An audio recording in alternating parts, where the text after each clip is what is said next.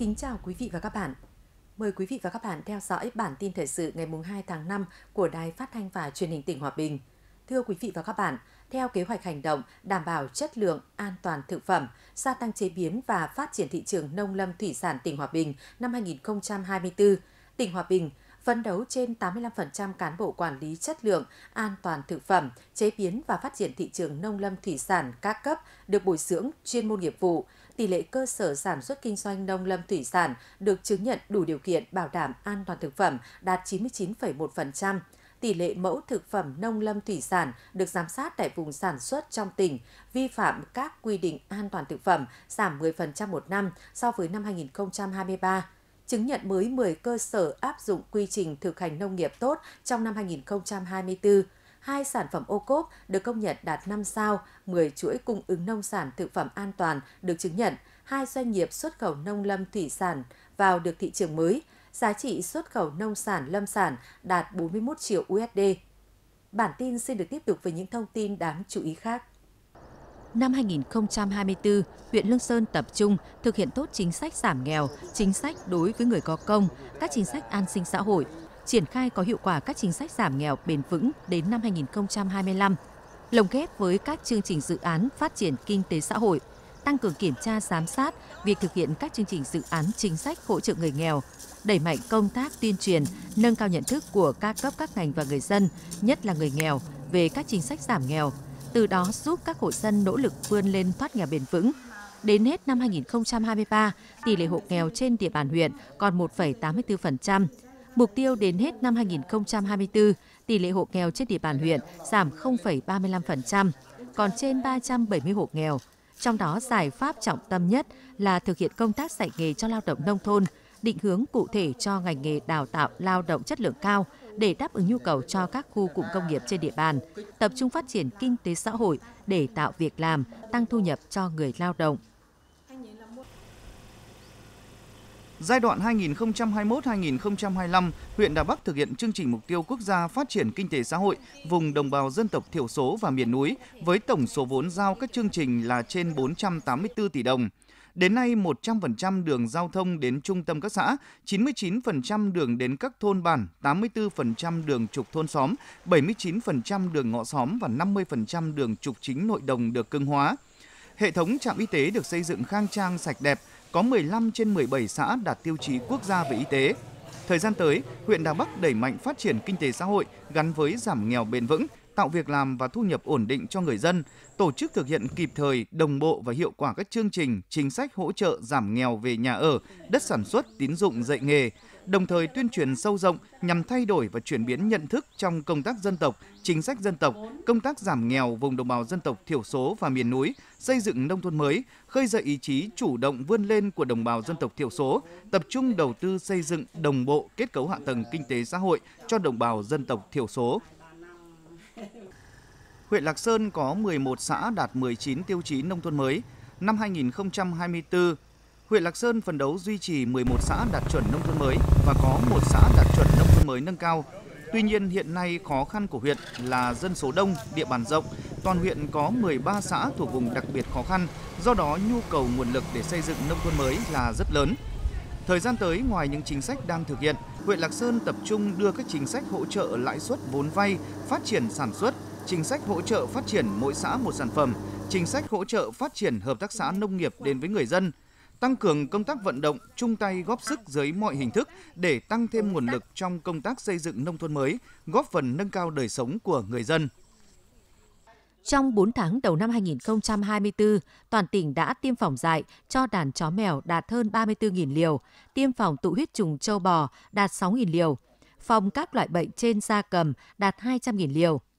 Theo đánh giá của Chi cục Thú y tỉnh, tình hình dịch bệnh trên đàn vật nuôi tiếp tục ổn định, không có ổ dịch lớn xảy ra trên địa bàn tỉnh. Hầu hết các điểm tiêm phòng dại trên địa bàn tỉnh đã sử dụng vaccine đúng theo quy định kỹ thuật, mạng lưới thú y cơ sở, cùng với các địa phương tích cực thực hiện việc tiêm phòng bệnh dại cho đàn chó mèo, đảm bảo đúng tiến độ đề ra.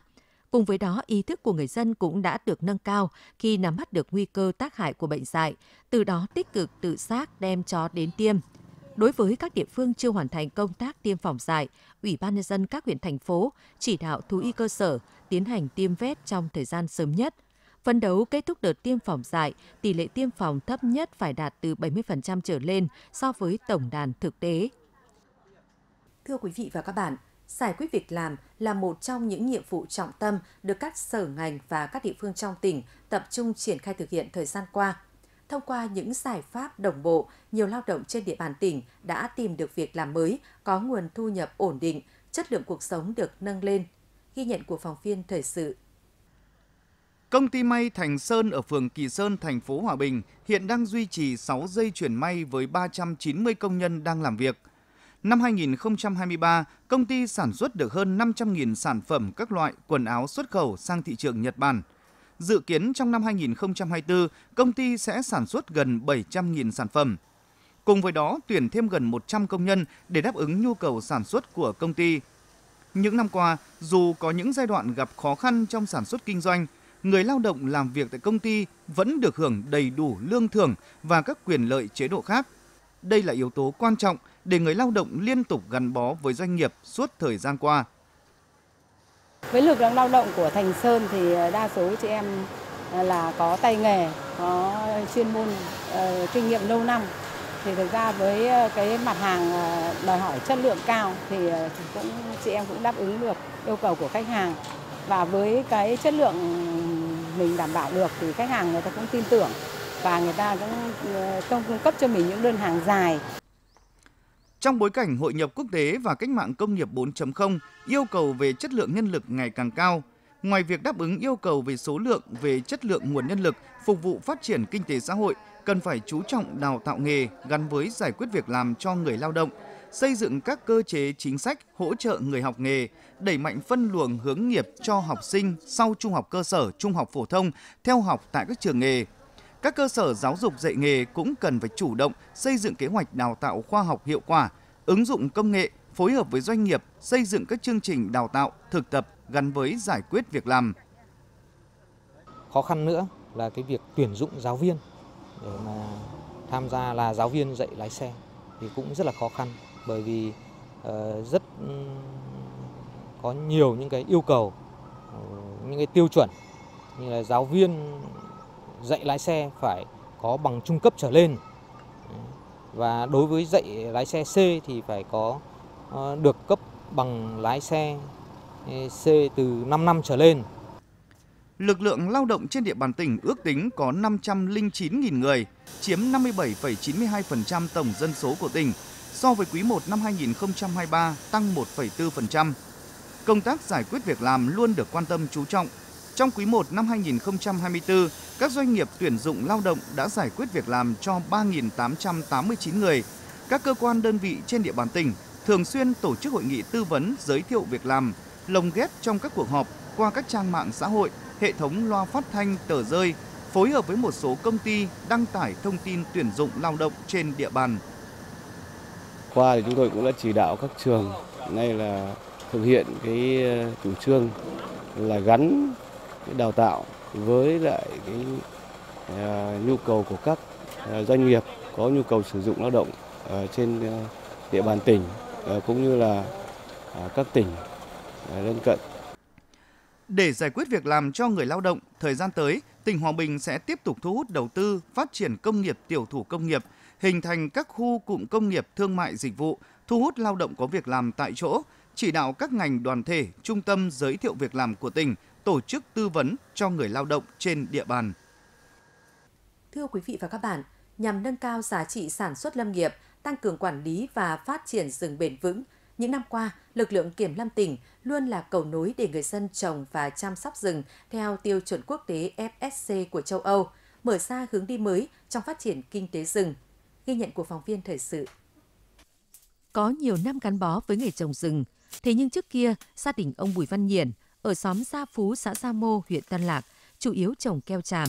Sau chu kỳ 4 đến 5 năm, ông Nhiển lại thu hoạch một hecta được khoảng từ 60 đến 70 triệu đồng. Sau khi được cán bộ kiểm lâm tuyên truyền về trồng rừng gỗ lớn theo chứng chỉ FSC, với chu kỳ khai thác từ 8 đến 12 năm, giá trị gỗ thu được khoảng 300 triệu đồng một hecta. Ông Nhiền đã tập trung chăm sóc 1,5 hecta rừng hiện có của gia đình để chuyển đổi thành rừng gỗ lớn. Thì tới đây thì gia đình chúng tôi sẽ cố gắng làm sao để ờ, trong cái kỳ ờ, ờ, trồng rừng đền này chúng tôi sẽ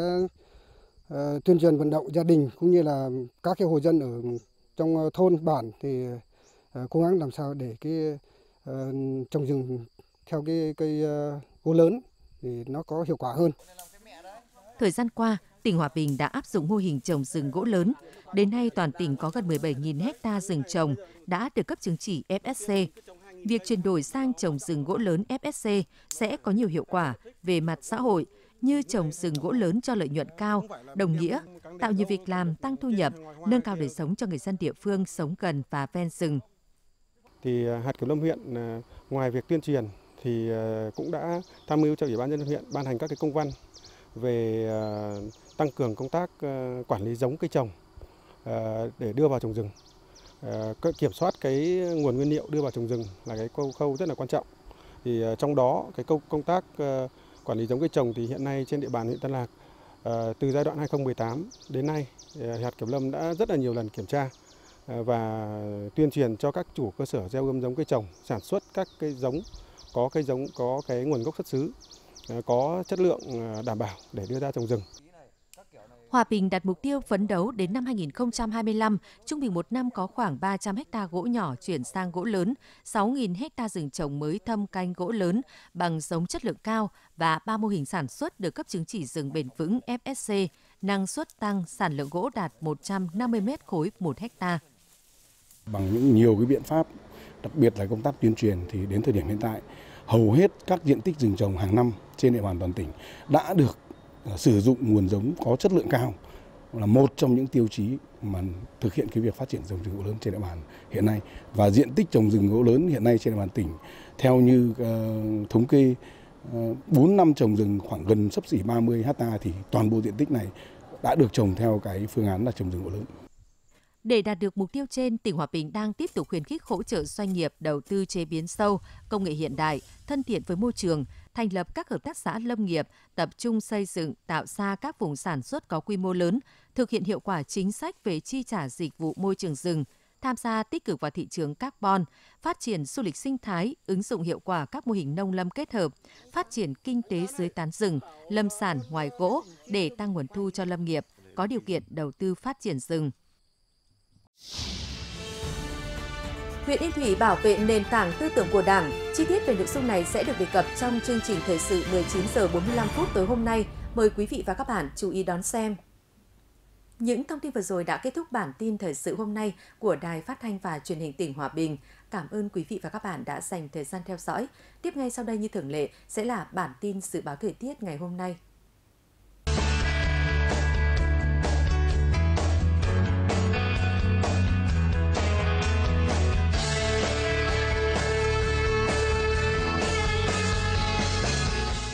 Dự báo thời tiết tỉnh Hòa Bình Khu vực thành phố Hòa Bình, mây thay đổi đến nhiều mây, có mưa rào và rải rác có rông. Trong mưa rông đề phòng xảy ra lốc xét và gió giật mạnh, nhiệt độ từ 25 đến 31 độ. Khu vực phía Nam tỉnh, mây thay đổi đến nhiều mây, có mưa rào và rải rác có rông. Trong mưa rông đề phòng xảy ra lốc xét và gió giật mạnh, nhiệt độ từ 25 đến 31 độ. Khu vực phía Tây tỉnh, mây thay đổi đến nhiều mây, có mưa rào và rải rác có rông. Trong mưa rông đề phòng xảy ra lốc xét và gió giật mạnh, nhiệt độ từ 25 đến 31 độ.